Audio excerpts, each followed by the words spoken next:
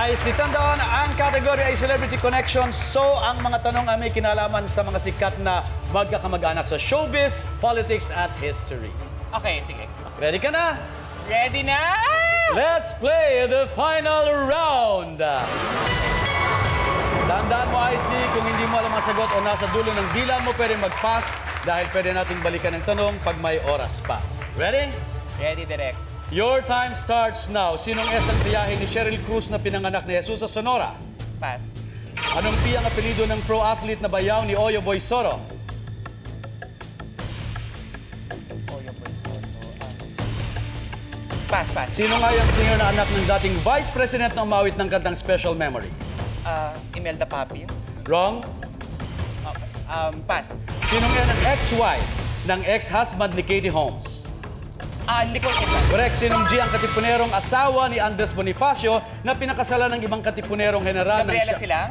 Wrong. Okay. Anong O ang apelido ng Greek tycoon na pinakasalan ang byuda ni US President John F. Kennedy? Um, ah, Jackie O. Ah, pass.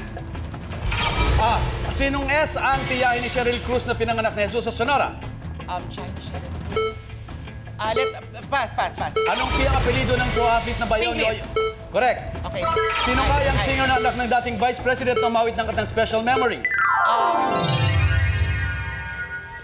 Meron kang dalawang tamang sagot at meron kang apat na hindi na sagot. I'm sure alam mo mostly ito. Sinong SM tiyahin ni Cheryl Cruz na pinanganak ni Jesus sa Sonora? Susan Roses. Oh my God! Magagalit sa'yo si Tita Sue. Oh my God! Tita Sue. okay. Anong piyan? Nasagot mo ito, okay? Sinong ay ang singer na anak ng dating Vice President na umawit ng katang Special Memory? Sino to ulit? Si Iwi Laurel. Ah, okay. Okay. Nicole Kidman, nasagot Okay. mo.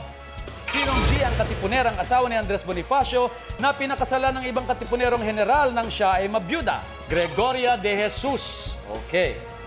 Okay, anong O ang apelido ng Greek tycoon na pinakasalan ang biyuda ni US President John F. Kennedy? Ang sabi mo Jackie O, pero kung Onassis lang, Onassis. siya si Onassis.